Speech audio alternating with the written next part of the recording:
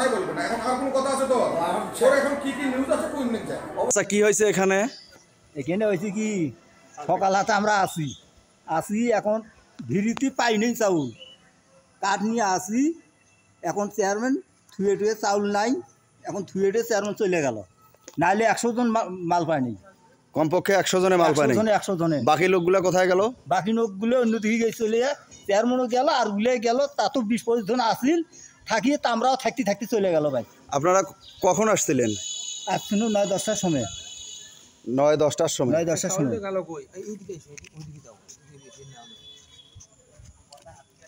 ভাই আপনার কি খবর? আপনারও একই পরিস্থিতি? আমারও ওই একই পরিস্থিতি। সকাল থেকে তো আমিও আছি হ্যাঁ। তো চাউল তো এখন পর্যন্ত তো পাইলামই না। এখন এই অবস্থায় এখন ফেরত দেওয়া লাগতেছে। মানে গোডাউনে চাউল নেই? গোডাউনে এখন চাউল নেই। চেয়ারম্যান সব এলে বেশি খাইছে। তো দেখলেও ফিরে আবার কিছু কিছু লোক মনে করো যে টাকাও দিলে এমনি এমনি কিনা। কীভাবে যে এলে ক্যাপচার করল করার পরে তো আর আমি টাকাও পাইলাম না আমি তো চলেই গেলাম ব্যাপারী মেলা ব্যাপারীর মধ্যে মনে করো টাকা পয়সা নিয়ে চাউলগুলো বিক্রি করে এক দিয়ে এক- এক একজন ব্যাপারী কতগুলো করে চাউল নিয়ে গেছে? চল্লিশ পঞ্চাশ বস্তা হবে? না হলে চল্লিশ পঞ্চাশ বস্তা বা বিশ ত্রিশ বস্তা দশ বস্তা এরকম ভাবে নিয়ে গেছে। এইটাই আমি জানি তোমাকে তখন আমি তো ওই আর আচ্ছা। ভাই আপনার কি খবর? আপনারও একই পরিস্থিতি? আমারও একই পরি- পরিস্থিতি। আমি গরিব মানুষ। আমি চাল বলি আসছি তো চাল পাইলাম। সকালবেলায় সকালবেলায় আসছি এখনও চাল পাইলাম না। আপনারও চাউল নাই? না। সকাল থেকে? সকাল দেখি মোট কতগুলো মানুষ ছিল এখানে? এ প্রায় এক দেড়শো লোক আসলো এক দেড়শো লোকে চাউল পায়নি না। বাকি লোকগুলো কি বাসায় চলে গেল? বাসায় গেল হচ্ছে এমনি কিছু কিছু টাকা দিল আর কিছু কিছু ইয়া করল। কাকা আপনার কি খবর? আপনারও একই পরিস্থিতি? আমারও একই পরিস্থিতি। সকাল এগারোটার অধিক আসছি। আসিয়ে তো দেখি লাইন বহু লোক ব্যাপারী আছে ব্যাপারী সামনে দাঁড়িয়ে আছে ব্যাপারীর ঘরে ভিড়ের জন্য আমরা যাইতে পারি নাই। যাইতে না পারি আমাদের লেট হয়েছে বলে আমাদের চালু আর কোথায় যায়? মানে ব্যাপারীর সামনের ভিড় বেশি? ভিড় বেশি। এখন ব্যাপারীর ঘরের জন্য আমরা পেছনে পড়ে গেলাম। পেছনে পড়ে যায় আমাদের এই অবস্থা। আর আমরা চাউল পাইলাম না। কিছু কিছু লোক টাকাও দিল। কি খবর ভাই আপনার? আমার কার্ড আছে। আমার চাল কোথায়? আমরা তো লাইনে দাঁড়াইছি। অনেক ভিড়ের জন্য সামনে আগাইতে পারিনি।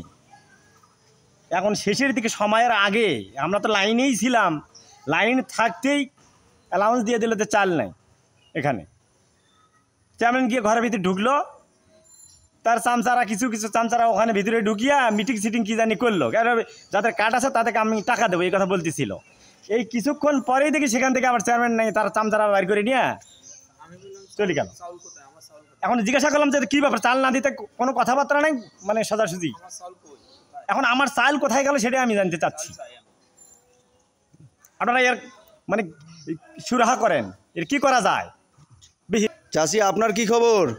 আমার আর কি খবর বাবা? বিয়ান হাতে দৌড়ে বিয়ান হাতে দৌড়াইতে দৌড়াইতে আমার জীবন শেষ। এখন টাকা নাই বলে চা পাক চা পানি খাই। এখন চাল তো পানি নেবা আপনারও চাউল নাই। আপনি সকাল থেকে বসে আছেন না? যেটা যেটা বলার সেটাই বললাম। যেটা বললেন সেটাই বললাম। এখন আমি তোমাকে কোনো নিউজ জানাব না।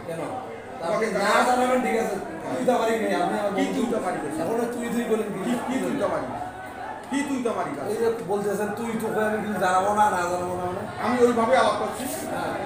ওইভাবে আলাপ করি আমি। তার সাথে আলাপ করেন? কি হয়েছে? আমি সাংবাদিক আমার সাথে ভাবে আলাপ হবে। যেভাবে আলাপ করছি সেটা তুই নিউজ করবি। আমি তুই তো পারি কি করব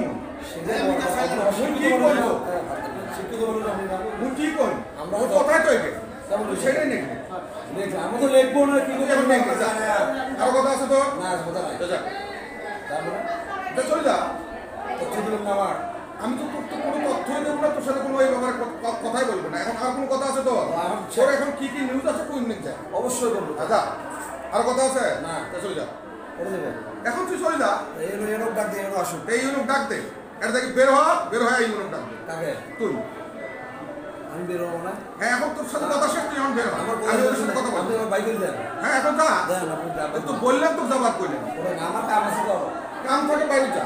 আমার সাথে কথা আছে